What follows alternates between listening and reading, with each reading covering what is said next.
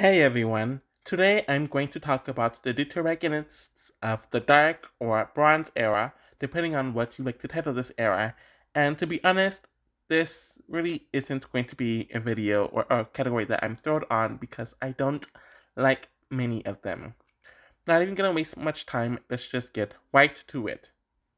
At 8th place is Eilonwy.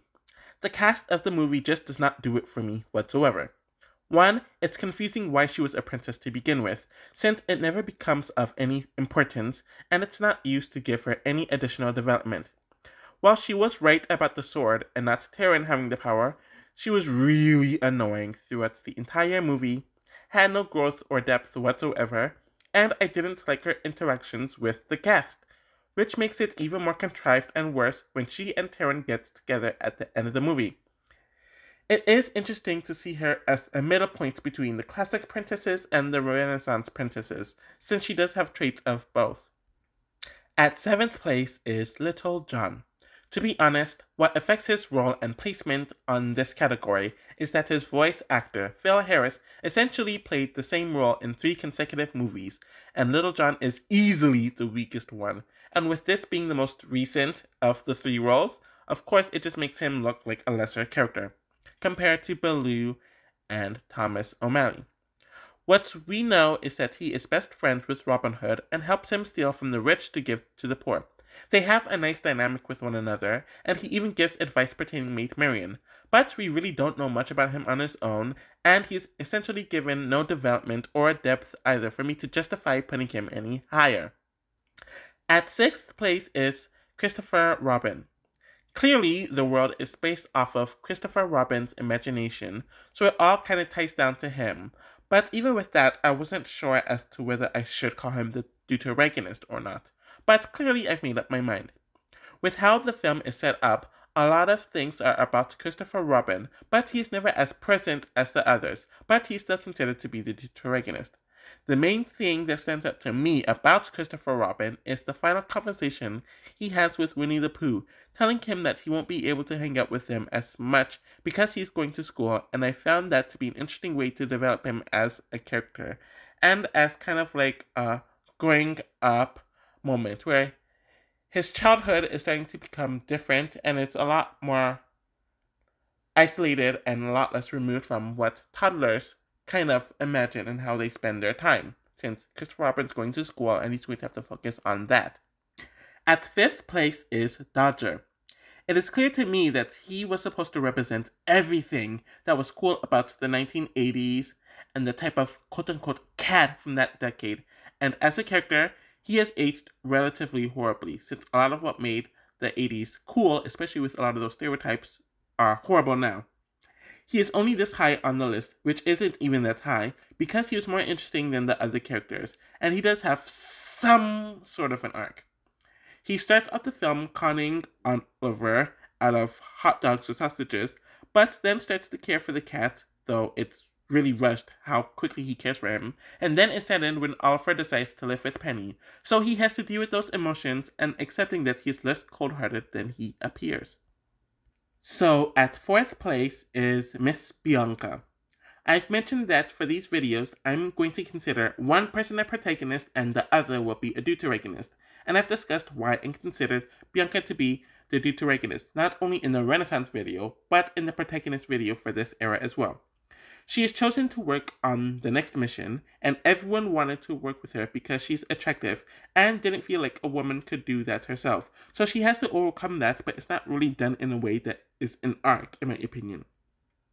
She chose Bernard, and seeing their interactions and how she caused him to let his guard down was great to watch, and seeing how she handles the missions is interesting. She's a very likable mouse, but she doesn't develop, so I am placing her here. At third place is David Q. Dawson. He is very forgotten as a character in Disney's pantheon, even amongst this era, and I don't recall many people talking about him at all, but he is the real heart of the film, in my opinion. He is coming from his trip elsewhere as a doctor and seems like he wants a change in his life, almost like he's in a midlife crisis of some sorts. Somehow, David ends up working with Basil to help with the mystery of figuring out what happened with Olivia's father, and the two of them started to bond with one another as they solved this mystery. I found it interesting that David ended up completely changing career paths, which is something we rarely see in animated movies in general, much less Disney movies, as he ended up being Basil's investigative assistant, which was nice in my opinion. At second place is Copper. Like I mentioned with Todd in the last video, Copper heavily benefits due to us seeing him as a child and growing into an adult, with all of the transitions, emotions, and changes that come with it. Copper was a naive dog who didn't know much about society and thinks he will be BFFs with Todd forever. But he goes on a trip where he becomes an adult, essentially, and becomes fully integrated with the society he is a part of. He is saddened that Tim and Todd cannot be friends, but is fine to accept it and his role in society. Of course, they are forced to go against one another after his brother was injured, but things change and Copper eventually protects Todd from being murdered from his owner, Amos Slade, and they have a somber but respectful goodbye as they part ways.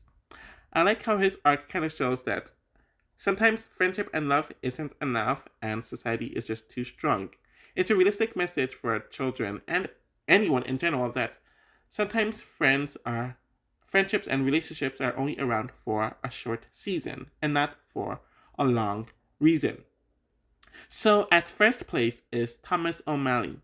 I was not expecting to have him as the number one spot whatsoever, especially with the reputation of the Aristocats. He ends up bumping into Duchess and her family as they are stranded, and while he is mainly interested because he wants to flirt with her, he does feel bad about their situation and genuinely wants to help Duchess and her children get back to their owners. Throughout the movie, not only does he bond with Duchess, but he bonds with her children, and seeing step families and blended families being portrayed in this movie was very interesting to me. It was implied that Thomas was somewhat of a playboy, but he becomes more domesticated and wants to change his ways to be a good example for Duchess and her kids, as they all have some really nice discussions, so he had that change. So that is my rankings of the deuteragonists of the Dark or Bronze Era. Like I mentioned beforehand, this era isn't really known for its character development, but I do think the deuteragonists in general have the same amount of development as the protagonists. But I don't know if that's a positive for the deuteragonists or the negatives for a negative for the protagonists. Luckily, I have enough protagonists on their own to talk about them in a separate video. Thank you all for watching, and I'll be back with something else soon.